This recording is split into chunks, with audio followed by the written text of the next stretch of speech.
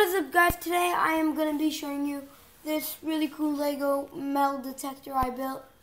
Now, um, it took me five minutes to think of it, but um, I'm my videos, my next couple videos won't be that good because I'm short on Legos. That is all I have. My big box is right next to me, though it is uh, getting packed this Friday, so I don't want to mess up everything, anything, or lose some pieces.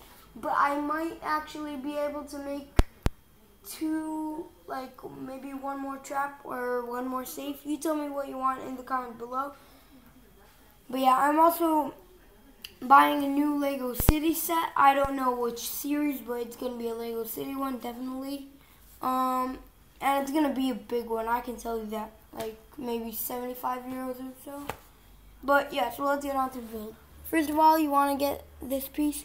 It's kind of a bar with a hollow cylinder on top. Then what you want to do is take this one by one clip piece. And what you want to do is clip it on like this. So you take this. Okay, now you got it. Make sure it is straight. So, um, if the clip is facing this way and the hollow cylinder that way, they're parallel.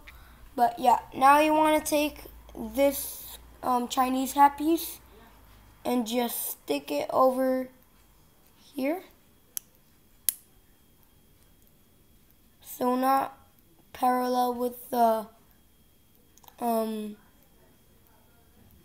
clipper to the clip piece.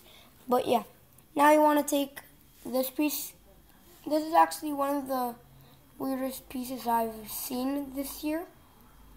Um, yeah, so just clip it on. This make sure it's straight up.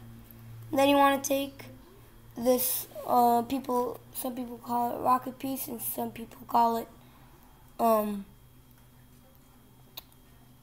just a round cylinder piece. But yeah, now you want to stick that on there. And there you have it, guys.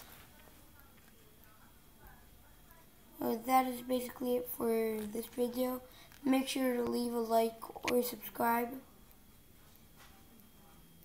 But I'll see you in the next video. Um, peace.